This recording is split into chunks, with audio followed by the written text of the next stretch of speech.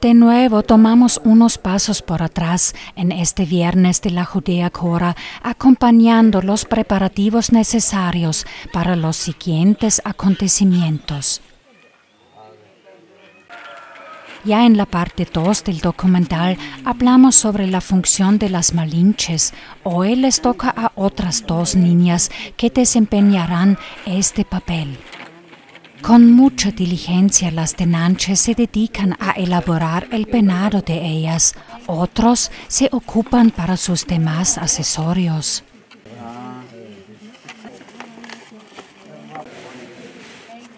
Dentro de la iglesia vemos al Cristo muerto, amortajado en una camilla y cubierto con tela bordada, y ofrendas están adornadas conmemorándolo con honra.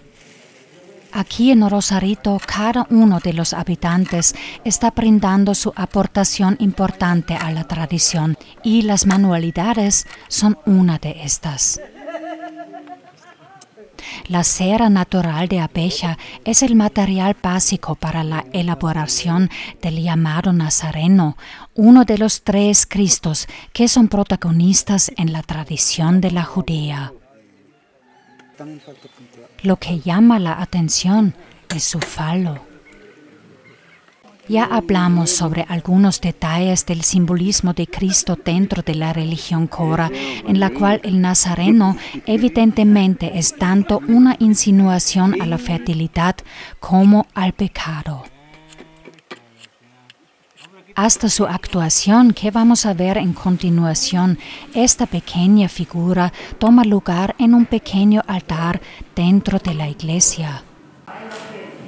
Bueno, regresando a la última escena con la cual terminamos la parte 2, entramos de nuevo a la actuación continua que se lleva a cabo frente de la puerta del templo. Ahora se le está levantando al niño Cristo que ya hemos visto al porarse en el arroyo. Está puesto a pie encima de dos grandes espadas, crucificado, ostenta las llagas de su sufrimiento y está protegido por largas lanzas. Todos los pobladores le acompañan en su recorrido por el pueblo y para mostrar compasión y compartir su pena se está difundiendo el humo y el olor de chile quemado.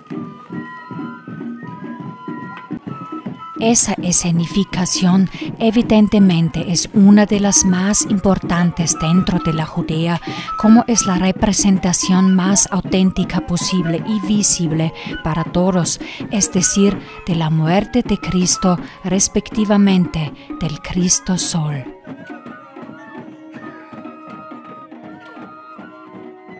Según investigaciones recientes, para los coras la muerte de dicho Cristo Sol es nada más que una transformación, la cual ocurre durante la lucha cósmica con los astros, es decir, con los guerreros judíos. El vencido es una deidad que los coras identifican como el santo entierro y a la vez al sol nocturno.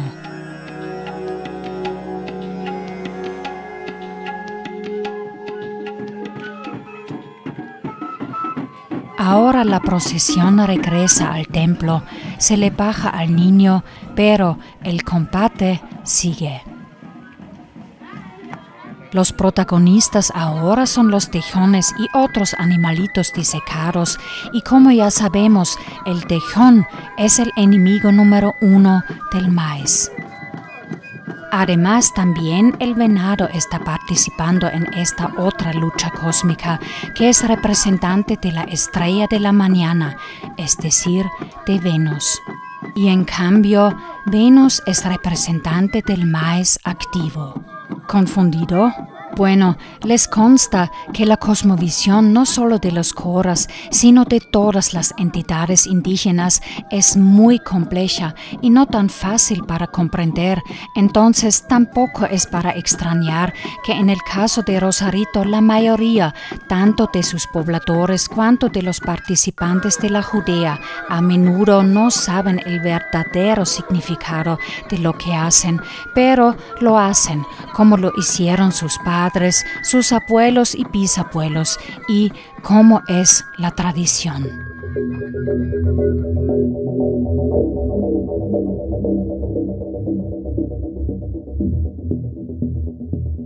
Para entender el próximo paso, una vez más tenemos que aclarar que durante toda esta celebración conformada por procesiones, luchas cósmicas y ceremonias diurnas y nocturnas, los borados gastan bromas eróticas y reverencias hacia la Iglesia Católica y generan sonidos y gritos que, como las estrellas que representan, buscan poner en riesgo la armonía cósmica. Así que con ese contexto en la mente también hay que interpretar el siguiente ritual. El contingente de todos los porados ya se ha dividido en dos grupos y ambos se posicionan con cierta distancia en la parte poniente del pueblo mientras dos de los porados están arrodillándose, la muchacha bonita con un polígrafo de aspecto falo escribe una carta la cual luego está entregada al otro grupo por un mensajero vestido de mujer.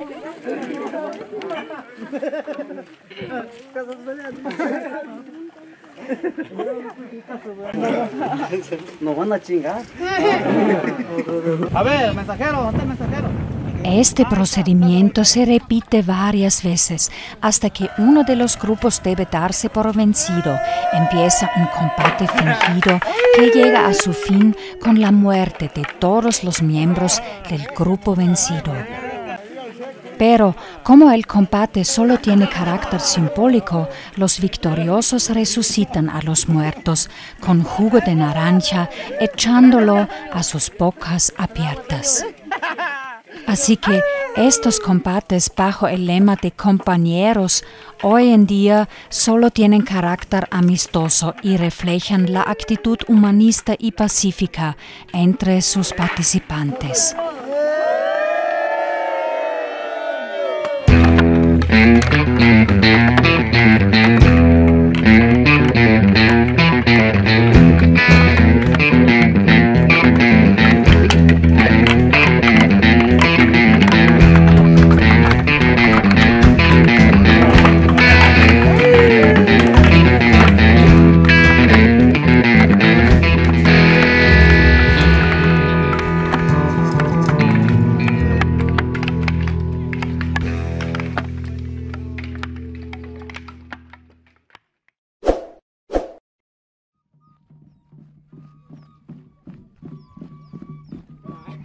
Hasta el presente momento hemos experimentado la muerte de dos Cristos y en continuación vamos a ver la muerte de otro Cristo, el llamado Nazareno, cuya elaboración de cera natural de abeja ya hemos observado. El primero, que más corresponde al Cristo católico como comúnmente lo conocemos, es decir, un Cristo anciano con barba, crucificado y colgado en una cruz, por los coras es considerado como representación del sol poniente. El segundo es el Cristo niño, por los coras representante del sol naciente.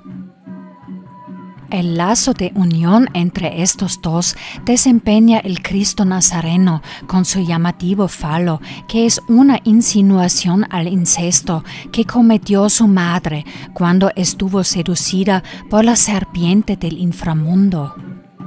Él ni tiene aspecto indígena ni cristiano, sino es mestizo, tiene barba y bigote y trae un sombrero como charro y representa al sol en plenitud del mediodía.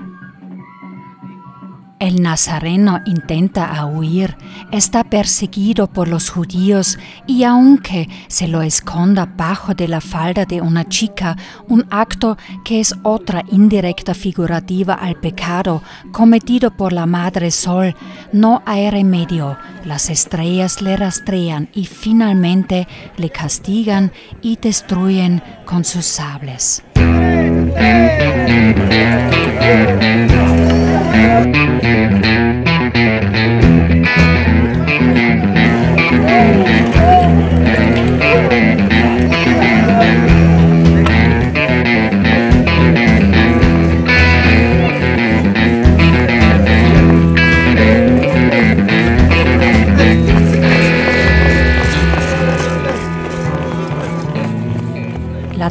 Del Viernes Santo ahora ya está avanzada. El ocaso se está acercando. Sin embargo, el contingente de los borados corre y corre y corre hasta que la matraca convoque para otra procesión por el pueblo y que termine, como es costumbre, en plena noche con burlas y danzas, rodeando el fuego.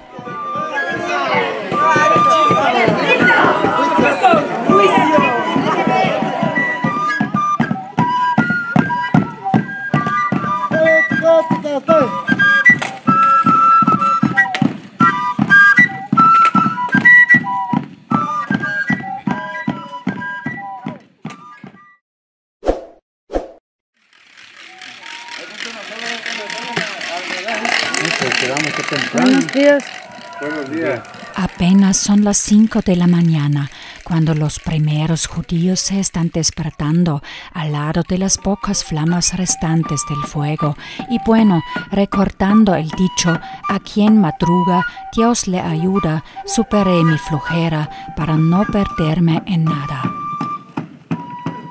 El aire aún es fresca cuando los hombres más perseverantes realizan los primeros recorridos, pero un poco después todos los demás acuden al arroyo para borrarse una última vez.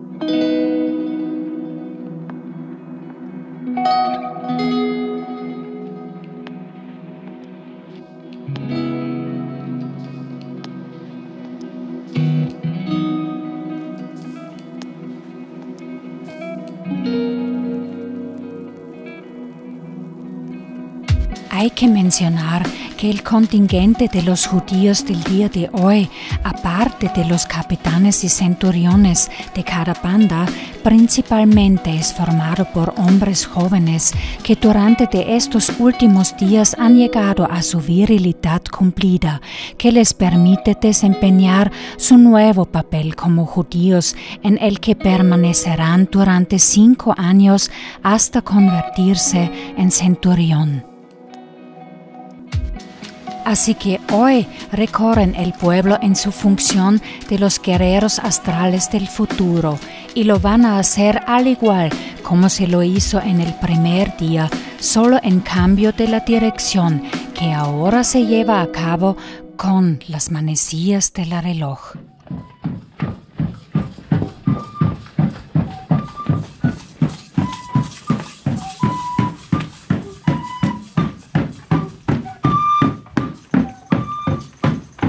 Es decir, corren por los cuatro rumbos del universo. Repiten también las danzas circulares de tortuga, forman una fila en movimientos serpenteados y repiten el salto sobre la cuerda.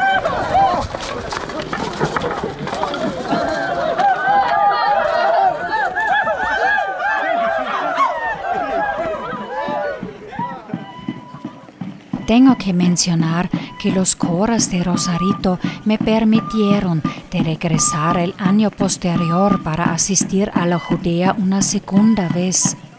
En esa ocasión, por primera vez llega un padre católico al pueblo para celebrar una misa y lo que me parece muy interesante que mayormente esté presenciada por mujeres. Además, con respecto a su prédica, he notado que por grandes partes ha tenido contenido de tipo doctrina católica con cierta apariencia misionaria. Señor, Señor, pues aumentame la fe, a lo mejor cuando era niño tenía fe chiquita, pero con la vida se fue.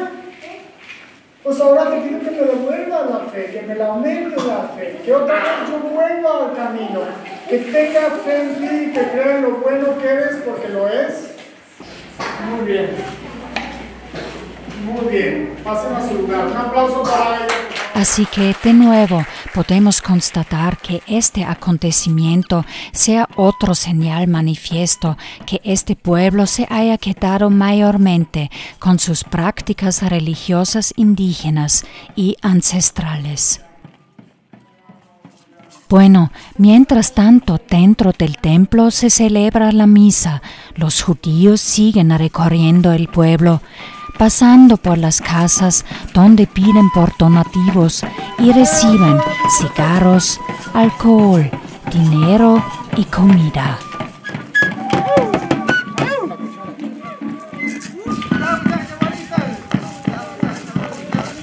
No se abre la gloria, pero es indudable que la coreografía ya no tenga límites y es caracterizada por un modo experimental y juguetón, es decir, para todos los participantes de la Judea ya ha llegado la hora de festejar y ellos se permiten sus travesías y tragos merecidos.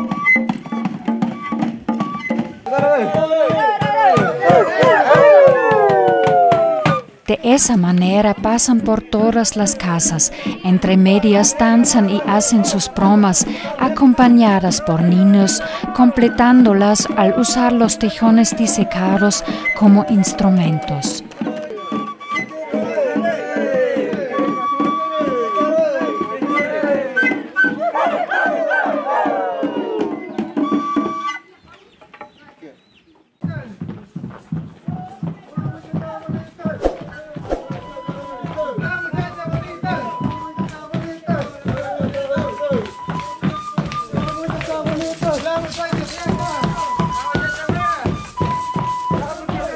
Mientras tanto, todo el contingente de los judíos verdaderamente está dando los últimos recorridos, vueltas y danzas, es decir, sus pasos ya son contados.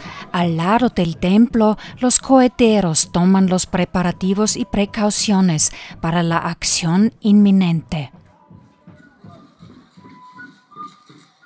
Antes de que se abriera la gloria, los judíos acuden a la puerta del templo para expresar su desagrado sobre los acontecimientos.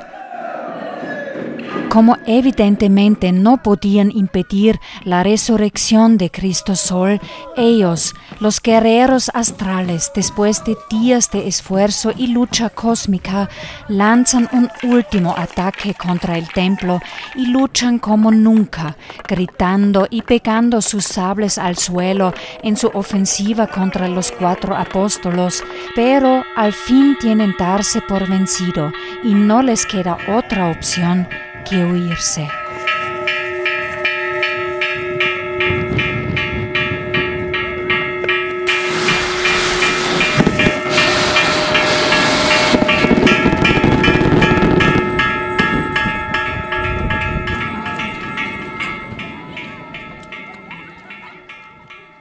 La campana y los cohetes señalan la apertura de la gloria y esto es el momento en el que finalmente los judíos no solo aceptan el papel del perdedor, sino también demuestran respetuosidad mutua, chocando sus sables con las palabras compañeros.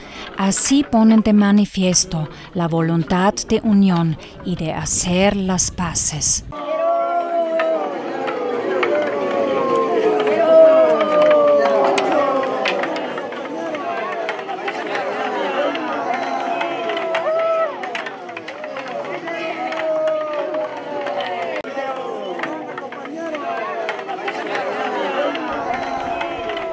Con el juzgado final en la Casa Real, primero los capitanes y luego los cinturiones se enfrentan a los gobernadores del pueblo.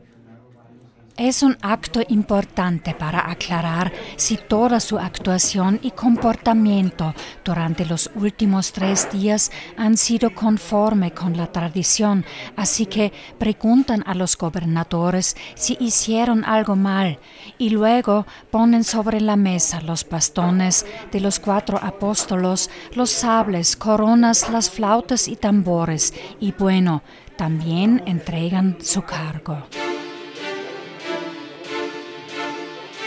Con este último paso, la Judea Cora en Rosarito ha llegado a un buen fin, con el que la continuidad del ciclo cósmico y de todo el universo es garantizado.